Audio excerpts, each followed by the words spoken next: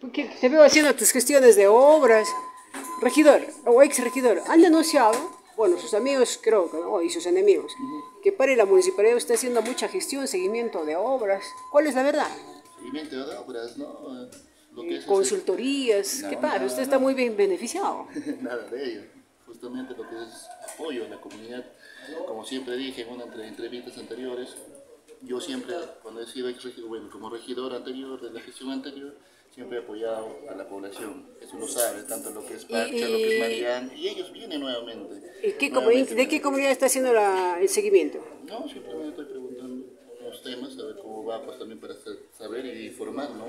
Porque hay un tema, de, por ejemplo, del puente de Huina, me parece que se ha colapsado.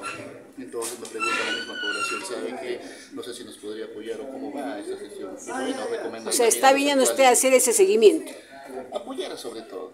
Pero usted apoyar ese seguimiento, ¿no? Que no preguntar, a ver cómo va ese tema, y bueno, si es que es por ahí, pues asesorar tal vez a, este, a, a los beneficiarios para que se pueda.